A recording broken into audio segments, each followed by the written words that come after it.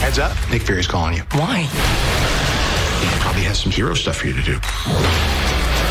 I don't really want to talk to him. You do not ghost Nick Fury. See, now that's some bull. Spider-Man Far From Home. Rated PG-13. Starts Tuesday.